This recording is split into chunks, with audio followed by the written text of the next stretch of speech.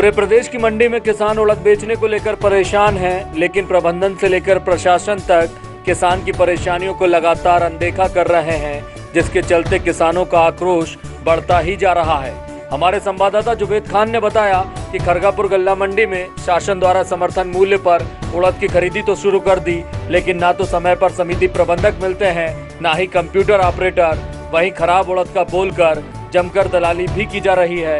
किसानों को अपने ही घर से पीने का पानी झाड़ू छन्ना लाना पड़ता है। शौचालय भी पर्याप्त नहीं होने के चलते किसानों को सोच के लिए भी दर दर भटकना पड़ रहा है। किसानों का कहना है कि आचार संहिता के चलते आंदोलन नहीं कर पाए लेकिन अब ऐसा लगता है कि बिना आंदोलन के कोई सुधार नहीं हो पाएगा। समस्या है सर के सरकारी आदेश हते के पंजीयन करवाओ।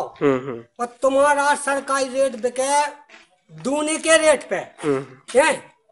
और फिर कहे के इतने लिया सो इतने कैंसल कर दे और मंडी में खरीदार लेके वो वही माल को बेच दे। बिल्कुल ये ये तो है, कुछ बात हुई है आपकी कोई सरकारी कोई गवर्नमेंट कोई व्यक्ति मिला है आपको ऐसा? हमें नहीं मिलो सर हम हाँ, तो मतलब ये है ही है मंडी में यही चल रहा है क्या? यही चल रहा है सर। हम्म यही चल रहा है। तो परेशानी क्या है आपको?